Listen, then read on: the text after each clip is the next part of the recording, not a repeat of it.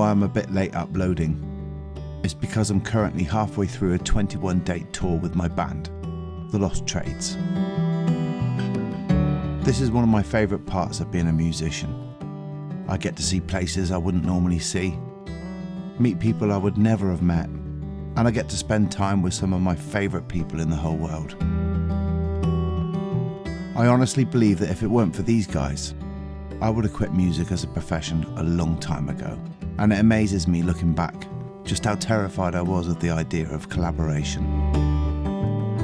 I think it's fair to say that when we started this band, I was not looking forward to sharing my writing process with the guys, despite the fact that we've been friends for many years and I have so much respect for them both as performing songwriters in their own right. I guess I was worried that my voice as a writer would be drowned out that my message would be somehow diluted and lost. But as it turned out, my voice became stronger the moment I first joined it with theirs. And suddenly, I'd become a part of something bigger than just me. This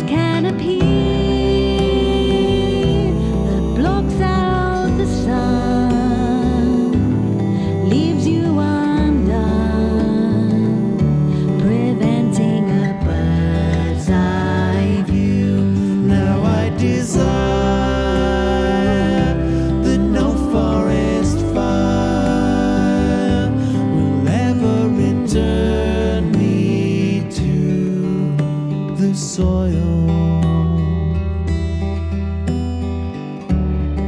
I was also concerned that our friendship might be compromised, but I needn't have worried. If anything, our friendship has become stronger. We've learned that by trusting each other with our songs, with our deeply personal creations, our respect for each other has deepened and it enriches the very fabric of what we create together. Since we started collaborating as a band, we've not only gained confidence in ourselves as writers and as musicians, but we've reached new heights that we almost certainly couldn't have achieved on our own.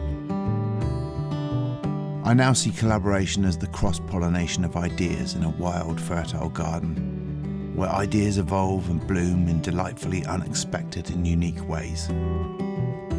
It's not something to fear.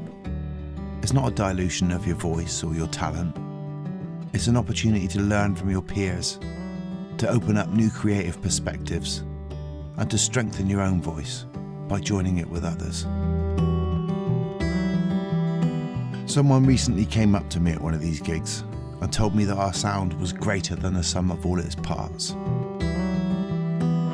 Well, one of those parts, that's me. And I think that's pretty cool. Naturally,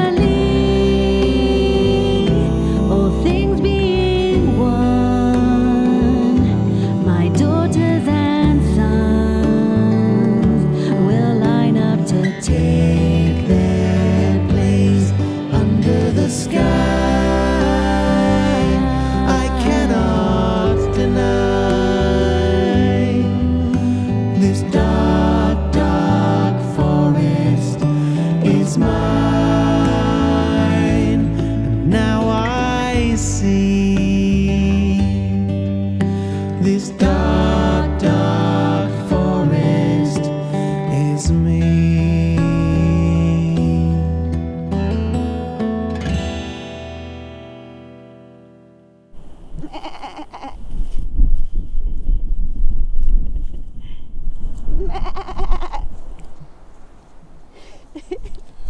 No, it's ignoring me.